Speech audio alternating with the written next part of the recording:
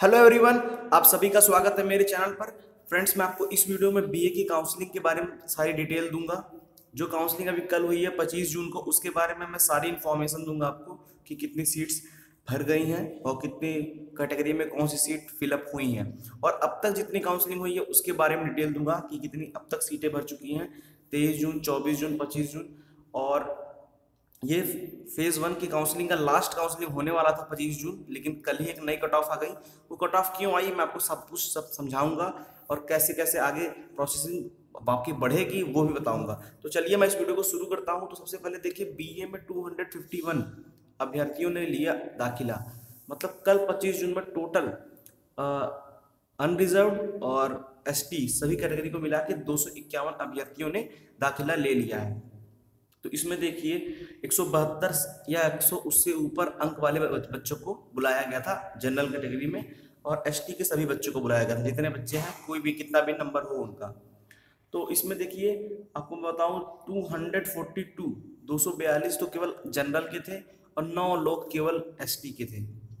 अब एसटी के बच्चों के आने की उम्मीद भी नहीं है। तो जितनी सीट्स एसटी की बची है कम से कम साठ से सत्तर सीट एसटी कोटे की बच गई है। तो वो कहाँ जाएँगी? एससी कोटे में जाएँगी। मैं लगातार बताता रहता हूँ।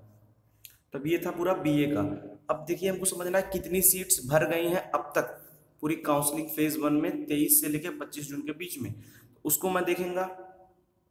तो टोटल एडमिशन देखिए काउंसलिंग फ़ेज़ वन में तेईस जून से लेकर पच्चीस जून के बीच में कितने एडमिशन हुए आइए हम देखते हैं नज़र। तो 23 जून को देखिए मैंने आपको बताया था 290 एडमिशन हुए हैं। और 24 जून को तीन और 25 जून को दो सौ इक्यावन मतलब कल। तो कुल मिला के देखिए मेरे सामने एडमिशन की लिस्ट ये टोटल एडमिशन है अनरिजर्व एस सब मिला के एसटी और अनरिजर्व दोनों को मिला के इतनी सीटें इतने तारीखों को भरी हैं। तेईस को 290, 24 को तीन सौ तिरालीस और 25 को दो सौ इक्यावन। तो आगे हम देखें टोटल एडमिशन 884 हो चुके हैं। तो आपके मन में एक ही सवाल स्ट्राइक कर रहा होगा कि सीट्स कितनी खाली हैं? तो मैंने पहले दिन आपको बताया था कि सीट्स कितनी खाली हैं। पहली वीडियो जो तेईस जून की है अगर आप उसको देखेंगे तो उसमें पाएँगे कि मैंने बताया है कि कितनी वैकेंट सीट है। लेकिन 24 जून और 25 जून के वैकेंट सीट की इन्फॉर्मेशन यूनिवर्सिटी ने अभी तक नहीं दी है। वो इसलिए नहीं दी है, उसकी समस्या भी हम समझ सकते हैं। वो इसलिए है क्योंकि जब तक पूरा फ़ेज़ वन पूरा ना हो जाता, या तो स्टार्टिंग में बता सकते हैं, या तो अंत में बता सकते हैं। आज अगर कल अगर 25 जून को लास्ट डेट होती तो मैं आज आपको सारा डिटेल बता देता कि कितनी सीट्स वैकेंट हैं। लेकिन आज है 26 जून, आज सुबह 10 बजे से लास्ट फ़ेज़ है काउंसलिंग का।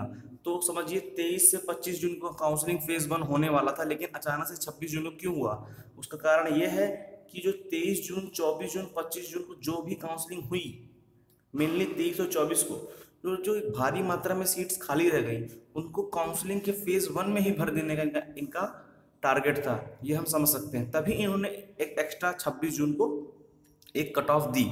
तो हमको समझ में आ गया टोटल एडमिशन 884 हुए हैं।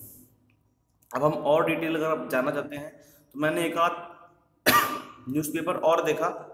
बीए में 251 छात्र छात्राओं ने मैंने सोचा एक आध न्यूज़पेपर और देखता हूँ तो शायद मुझे और डिटेल मिलेंगी लेकिन कहीं भी मुझको वैकेंट सीट की नहीं मिली है बहुत ही ऑब्वियस है। हमको सम, हम भी समझ सकते हैं यूनिवर्सिटी की समस्या या तो वो इसकी इन्फॉर्मेशन पहले दिन देगी जो कि मैंने वीडियो में आपको दी हुई है। तेईस जून की वीडियो मैंने बताया है कितनी सीट्स वैकेंट हैं तेईस जून की काउंसलिंग के बाद। या तो स्टार्टिंग बता सकती है फ़ेज़ वन की काउंसलिंग फ़ेज़ वन की या तो अंत में। तो अंत छब्बीस जून को है। तो अब छब्बीस जून यानी कल सुबह जो मैं वीडियो बनाऊँगा तो उसमें मैं आपको सारी डिटेल दे दूँगा कि काउंसलिंग फ़ेज़ वन में कितनी सीट्स भर गई हैं, कितनी सीट्स खाली हैं। क्या उसके बाद भी अगर सीट खाली है तो सीधे काउंसलिंग फ़ेज़ टू में वो ऐड होंगी। अभी कैटेगरी वाइज कट ऑफ़ नहीं आई है, वो क्यों नहीं आई है, उस पर वीडियो मैं बनाऊँगा। तो आई होप आपको ये वीडियो समझ में आई होगी तो प्लीज़ वीडियो को लाइक ज़रूर कर दीजिएगा और सब्सक्राइब कर लीजिए और बेल आइकन भी क्लिक कर लेंगे आपको तो जल्द से जल्द आपको आपको सारी इन्फॉर्मेशन मिलेगी। इन्फॉर्मेशन मिलेगी तो आप हर चीज़ सही कर पाओगे। तो थैंक्स फॉर वॉचिंग एवरीवन